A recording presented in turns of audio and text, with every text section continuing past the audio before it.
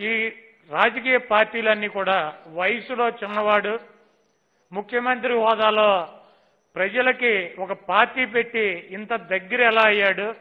ఈ రకంగా ఎక్కడా కూడా దేశంలో జరగనటువంటి కనీ విని ఎరగని రీతిలో ఎన్నికల్లో ప్రచారానికి రాకుండా నాకు ఓటేయమని చెప్పి మీడియాలోనో లేకపోతే వీడియోలోనో లేకపోతే ఎక్కడన్నా సమావేశంలోనో సభలోనో కూడా చెప్పకుండా ప్రజలు గెలిపించారంటే జగన్మోహన్ రెడ్డి గారిని చూసి మీరు నేర్చుకోవాల్సినటువంటి అవసరం ఉంది. ఈరోజు మాకు వయసు వచ్చింది మాకు అనుభవం వచ్చింది అని చెప్పి సొల్లు కబుర్లు చెప్పడం కాదు. నిన్న మొన్న అయితే ఎన్నికల ముందు రోజు చంద్రబాబు నాయుడు గుంటూరు విజయవాడలో పర్యటించి ఏం మాడతాడండి ప్రజలకు సిగ్గు శరం లేదంట.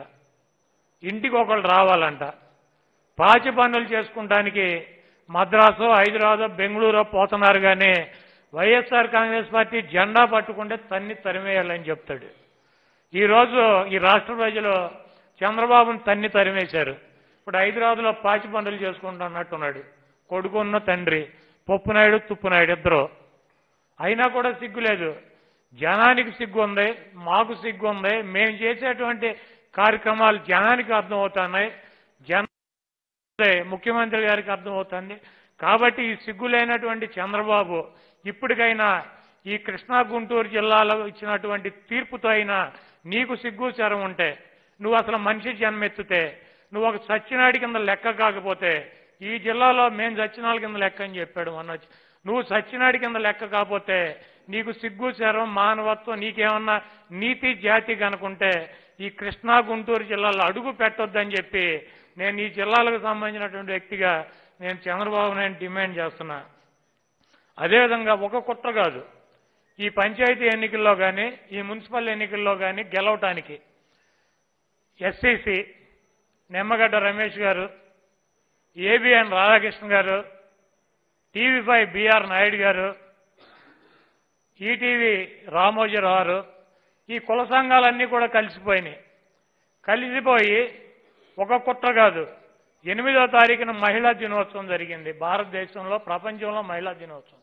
దానికి ఒక ఐదు ఆరుగురు కలిసి నేను చెప్పినటువంటి ఏబిఎన్ రాధాకృష్ణ కానివ్వండి ఈ బిఆర్ నాయుడు కానివ్వండి లేకపోతే చంద్రబాబు నాయుడు కానివ్వండి లోకేష్ కానివ్వండి ఒక ఐదు ఆరుగురిని ఆర్గనైజ్ చేసేటువంటి మహిళలను అడ్డం పెట్టుకుని అమరావతిలో ఉన్నటువంటి అమాయకమైనటువంటి రైతుల్ని రోడ్డు మీదకి తీసుకొచ్చి వాళ్ళని అరెస్టులు చేయించి వాళ్ళని ఇబ్బంది పెట్టి జగన్మోహన్ రెడ్డి గారిని పోలీసు వ్యవస్థని ఇష్టం వచ్చినట్టు తిట్టి మహిళా దినోత్సవం రోజు జగన్మోహన్ రెడ్డి గారు ఏదో మహిళలకు అన్యాయం చేశాడని చెప్పి ఎనిమిదో పదో తారీఖు ఎన్నికలైతే ఎనిమిదో తారీఖున. తొమ్మిదో తారీఖు నీ సిగ్గులైనటువంటి చంద్రబాబు వాళ్ళని పరామర్శించడానికి వెళ్తాడు. ఇదేదో పెద్ద మహిళలకి అమరావతి ప్రాంతానికి జగన్మోహన్ రెడ్డి గారి ప్రభుత్వం అన్యాయం చేసేస్తుంది అని చెప్పి చూపించుకుని మహిళలను అడ్డం పెట్టుకుని మహిళా దినోత్సవం రోజు వాళ్ళకి ఉపయోగపడాల్సింది పోయి వాళ్ళని అడ్డం పెట్టుకుని రాజకీయ లబ్ధి పొందాలని చెప్పి చంద్రబాబు నాయుడు ప్రయత్నించాడు.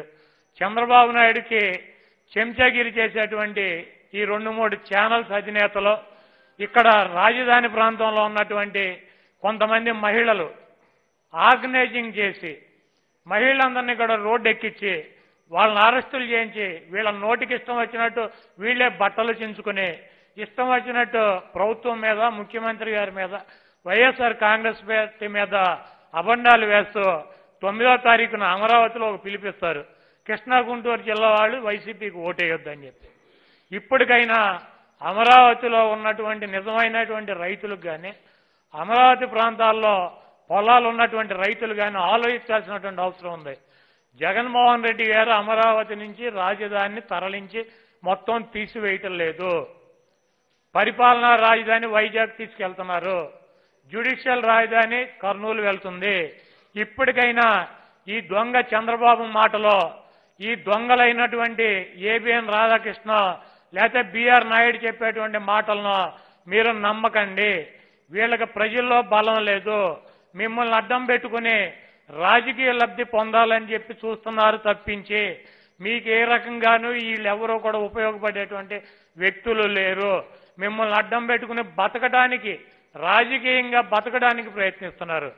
కాబట్టి ఇప్పటికైనా మీరు ఇటువంటి దుర్మార్గులను వదిలేసి ప్రభుత్వంతో చర్చలు జరిపి అమరావతిలో మీకు ఫ్లాట్లకు ఏం కావాలి మీకు రోడ్లు ఏం కావాలి మీకు గవర్నమెంట్ నుంచి వచ్చేటువంటి సంస్థలు ఏం కావాలి మీరు ఈ ప్రాంతంలో అభివృద్ధి చెందాలంటే మీ భూముల వాల్యూ పడిపోకుండా ఉండాలంటే మీకు ఏమి కావాలన్నదే మీరు ఒక ఎజెండా తీసుకుని కనుక ప్రభుత్వం దగ్గరికి వచ్చినట్లయితే జగన్మోహన్ రెడ్డి గారు మీతో చర్చించి మీకు కావలసిన మీరు అడిగిన దానికన్నా ఎక్కువే ఈ ప్రాంతానికి చేసి ఈ ప్రాంతాన్ని కూడా అభివృద్ధి చేయడానికి వైఎస్ఆర్ కాంగ్రెస్ పార్టీ జగన్మోహన్ రెడ్డి గారు ముందుంటారు. జగన్మోహన్ రెడ్డి గారి కులాలు లేవు మతాలు లేవు మరి ప్రాంతాలు లేవు. అన్ని ప్రాంతాలని సమాన దృష్టిగా ముఖ్యమంత్రిగా చూసేటువంటి వ్యక్తి జగన్మోహన్ రెడ్డి గారు. కాబట్టి ఇటువంటి దొంగలను ఇప్పటికైనా వదిలేసి పార్టీ కోసం రాజకీయం కోసం మిమ్మల్ని అడ్డం పెట్టుకున్నటువంటి ఈ దుర్మార్గుల్ని ఈ రాజకీయ ముసుగులో మీకోసం పాటుపడుతున్నట్టు కొంతమంది నాటకాలు రాజకీయ పార్టీల మద్దతు కోసం వాళ్ళ పదవుల కోసం మీ వెనకాల తిరుగుతున్నారు. వాళ్ళందరినీ వదిలేసి ముందుకొచ్చి ఈ అమరావతి ఇష్యూని ఇప్పుడు కన్నా సెటిల్ చేసుకోమని చెప్పి నేను కోరుతున్నా వాళ్ళని. మొన్న గుంటూరు వచ్చి విజయవాడలో ఏం చెప్పాడంటే చంద్రబాబు నాయుడు గారు? మేమేం చెప్పాలి? అమరావతి రెఫరెండం అని చెప్పి. ఆయనే తీసుకొచ్చాడు. ఇక్కడ కనుక ఓడిపోయినట్లయితే అమరావతిని వద్దని ఈ ప్రాంత ప్రజలే కోరుకుంటున్నారని చెప్పి మీరు సిగ్నల్ ఇచ్చిన వాళ్ళు అని చెప్పి. అమరావతి ఇష్యూ వేరు ప్రజలకు ఉన్నటువంటి అవసరాలు వేరు. నేను మొదటి నుంచి చెబుతాను ఇక్కడ ఉన్నటువంటి అమరావతి రాజధాని రావటం వల్ల కృష్ణా గుంటూరు జిల్లాలో అభివృద్ధి చెందలేదు. ఇక్కడ అమరావతి కనుక వెళ్ళిపోయినట్లయితే కృష్ణా గుంటూరు జిల్లాలో అభివృద్ధి ఆగిపోయేటువంటి ప్రసక్తి ఉండదు. అయినప్పటికీ ఇక్కడ అనౌన్స్ చేశారు కాబట్టి శాసనసభ రాజధాని ఇక్కడే ఉంటుందని ముఖ్యమంత్రి గారు చెప్పారు కాబట్టి మీ ప్రాంతానికి ఏమి కావాలో మీరు ఒక ఎజెండాతో కనుక ముందుకు వచ్చినట్లయితే మీ తరపున ప్రభుత్వం తరపున చర్చలు జరిపి మీకు న్యాయం చేయటానికి వైఎస్ఆర్ కాంగ్రెస్ పార్టీ జగన్మోహన్ రెడ్డి గారు మేము కూడా ముందుంటామని చెప్పి తెలియజేస్తూ ఇప్పటికైనా సరే రాజకీయ ముసుగులో ఉన్నటువంటి గుంట నక్కని చంద్రబాబుని ఈ ప్రాంతానికి రాకుండా మనకు సిగ్గు చేరం లేదని చెప్పాడు. మనం మనుషులను సచ్చినాలతో సమానం అని చెప్పాడు. ఇప్పటికైనా చంద్రబాబు నాయుడు తుప్పునాయుడికి ఆయన కొడుకు పప్పు నాయుడికి ఇద్దరికి సిగ్గు శరం ఉంటే మీ ఇద్దరు బతికున్న మనుషులైతే మీరు ఈ ప్రాంతానికి అడుగు పెట్టొద్దని చెప్పి నేను డిమాండ్ చేస్తున్నాను. మాకు సిగ్గు శరం లేదు శ్రీము నెత్తురు లేదు మాకు బుద్ధి లేదు. మేము సచ్చినాలతోనే సమానం అంటే కనుక మీరు వచ్చి ఇక్కడ తిరుగుతానంటే తిరగండి. అది మీ కర్మ అని చెప్పి తెలియజేస్తున్నాను. అదేవిధంగా ఈరోజు పంచాయతీ ఎన్నికల్లో సింబల్ లేదు. కాబట్టి ఇక్కడ తాడేపల్లిలో ఉన్నటువంటి పార్టీ ఆఫీస్లో నాలుగు ఫేజ్లు కూడా అవుట్లు గాలి చేశారు. చంద్రబాబు నాయుడు చంద్రబాబు నాయుడు అనుచరులు మేమే గెలిచాం. ముప్పై ఎనిమిది పాయింట్ ఏడు ఈయన లెక్కెట్టాడు. ముప్పై ఎనిమిది పాయింట్ ఏడు నలభై పాయింట్ రెండు నలభై ఒకటి పాయింట్ జీరో సెవెన్ ఈ పిచ్చి లెక్కలు చెప్పి మేమే నలభై శాతం పంచాయతీలు గెలిచామని చెప్పి. ఈ రోజు ఎందుకు రాలా చంద్రబాబు నాయుడు మీడియా ముందుకి? ఈ రోజు ఎందుకు అవుట్లు కాల్చలా? స్పష్టంగా పంచాయతీ ఎన్నికల్లోనే ఎనభై ఐదు శాతం వైసీపీకి గెలిపించారు. ఈ రోజు జరిగినటువంటి కార్పొరేషన్ ఎన్నికలు కానీ మున్సిపల్ ఎన్నికలు కానీ పంచాయతీ ఎన్నికల్లో కానీ చాలా స్పష్టంగా ఈ రాష్ట్ర ప్రజలు తీర్పిచ్చారు. నన్ను బూతుల మంత్రి అంటారు. ఇంకో మంత్రి కొబ్బరి చెప్పులు అమ్ముకునే మంత్రి అని చెబుతాడు. ఇంకో మంత్రి పిట్టకథలు అని చెబుతాడు ఇంకోటి అవ్వాలా అని చెబుతాడు. మేము కూడా బూతుల మంత్రులం కాదు కొబ్బరి చెప్పులు అమ్ముకోవాలా? నీ వెనకాల ఉన్నాళ్ళు ఐదు సంవత్సరాలు కొబ్బరి చెప్పులు అమ్ముకున్నారు. కాల్ మనీ సెక్స్ ర్యాకెట్ అని చెప్పి మహిళలను వ్యభిచార వృత్తిలోకి దించినటువంటి సన్నాసులు నీ పార్టీలోనే ఉన్నారు. ఇష్టం వచ్చినట్టు నీ నోటికి ఇష్టం వచ్చినట్టు జగన్మోహన్ రెడ్డి గారిని నువ్వు నీ కొడుకు పప్పునాయుడు తుప్పునాయుడు కలిసి బూతులు తిట్టారు.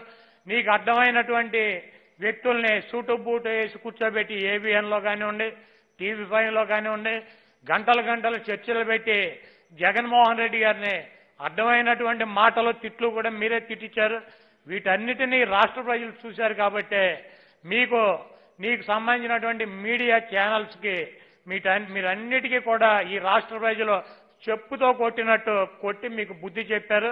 అయినా కూడా మీకు ఎక్కడా కూడా బుద్ధి రాదన్న సంగతి నాకు తెలుసు.